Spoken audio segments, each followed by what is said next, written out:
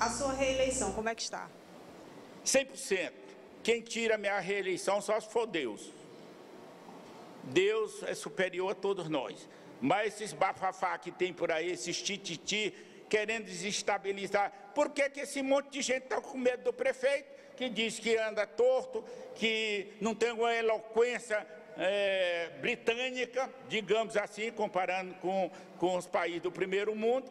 Por que estão com medo? É conversa para cá, é atitude para lá, quem é você é mais bonito, você é mais feio, você não sei lá. Ah, o prefeito está dizendo para os meios de comunicação que eu sou pré-candidato à reeleição em 2024. Do lado de lá não quero saber quem é que vem, do lado de cá sou eu o pré-candidato. Propostas, Apoliana, dos adversários.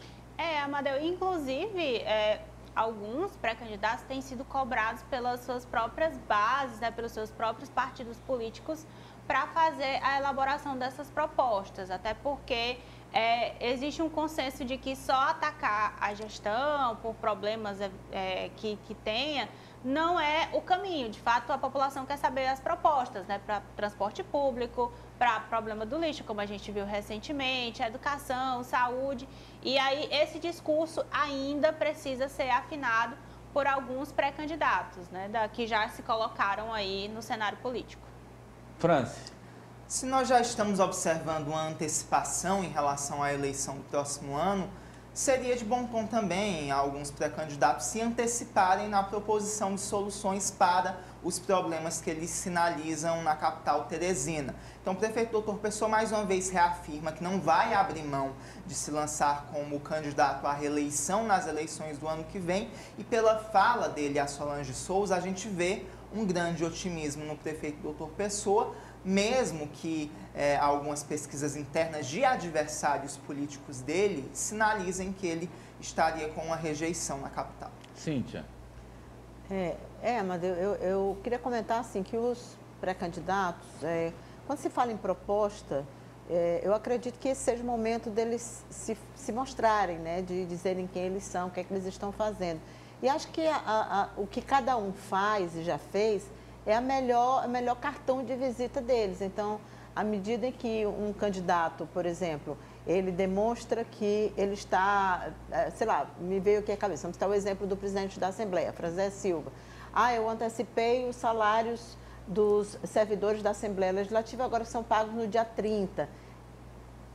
Eu acho que esse tipo de ação, revelando o que você faz no seu papel atual de gestor, ele é mais importante nesse momento do que uma promessa. Então, nesse quesito, eu discordo do, do prefeito, mas concordo quando ele diz que há muita, há muita disputa entre os pré-candidatos. Eu entendi, né, eu, eu, traduzi dessa forma o que o, o prefeito disse. Uh, acho que, uh, em relação a outra declaração, não é muito bom se falar sobre isso, porque Bolsonaro falava muito, que só Deus também o tiraria do governo. É e o eleitor fez isso, né? Ari. Amadeu, foi uma reação do prefeito, você viu que ele estava agastado ao conceder a entrevista para Solange, ele estava ali irritado, por quê? Porque é uma movimentação muito grande de pré-candidatos e todos batendo nele. É Bárbara natural, do... não?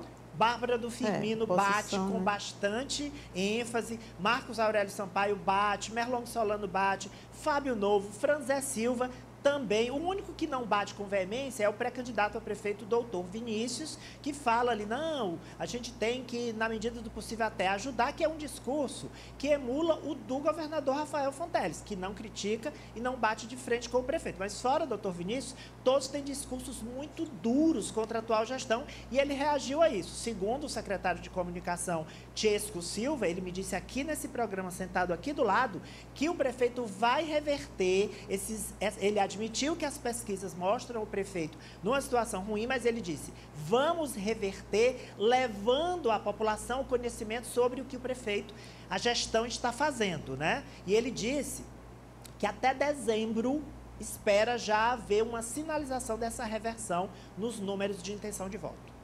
Vamos agora é, para, é, aproveitando, estamos falando em pré-candidato, Cíntia, a sua manchete fala numa numa moldagem diferente das outras eleições. Isso. Primeiro a pré-campanha. Acho que uma pré-campanha tão acirrada não, não se tinha visto ainda. Ainda mais quando a gente fala de uma pré-campanha dentro de um único partido, que são os três pré-candidatos, pelo menos até o momento. Né? Eu, eu não coloco o Merlong, porque eu acho que ele está fora dessa, dessa, dessa jogada aí.